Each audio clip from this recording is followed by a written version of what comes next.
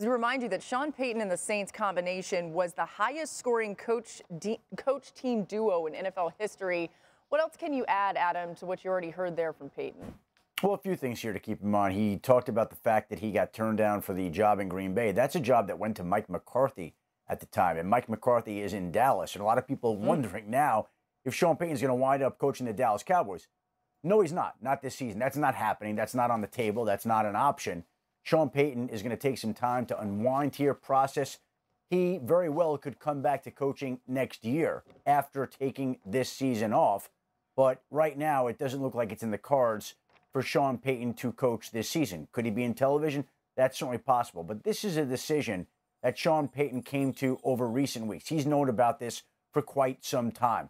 He took some time in Mexico the last couple of weeks to play golf, unwind, relax, make sure that he was making the right decision. Came in today, started meeting with the Saints staff last night, met with them again today, and then held a meeting a short time ago where he informed all of them about his decision, spoke to them for 35 minutes, and told them, as he just said, that he doesn't know what's next, but he's going to be open to anything. But he's not going to be coaching this year in all probability. That's hard to imagine, despite the fact that there are now nine head coaching vacancies across the National Football League. Sean Payton is not the likely guy to fill in one of them, and the Saints now find themselves as the most recent team that looks to have a head coaching need. And Dennis Allen has been the interim replacement for Sean Payton before. He figures to be the favorite now, but there's a process that this team has to go through, will go through. And we've seen many times a team have a leader in the clubhouse going into a search only to wind up on a different candidate. And we'll see what the Saints do. But Dennis Allen certainly will be one of the favorites for this job as the Saints move forward. Sean Payton doesn't know what's next.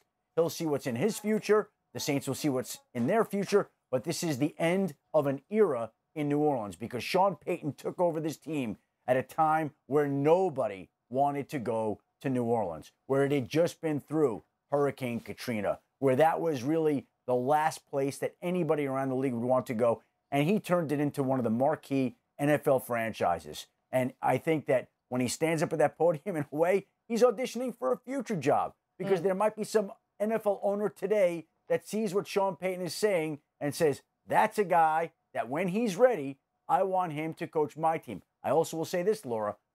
Many people assumed that Bill Cowher, once he stepped away from the Steelers, would go back to coaching, and he never did.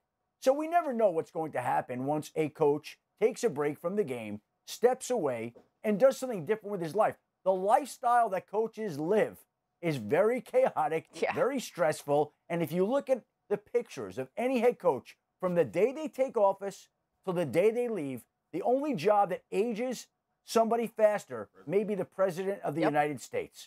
so we'll see what happens with Sean Payton here going forward. But he's going to take some time, and the Saints will take some time, and it's the end of an era in New Orleans. Thank you for watching ESPN on YouTube. For live streaming sports and premium content, subscribe to ESPN Plus.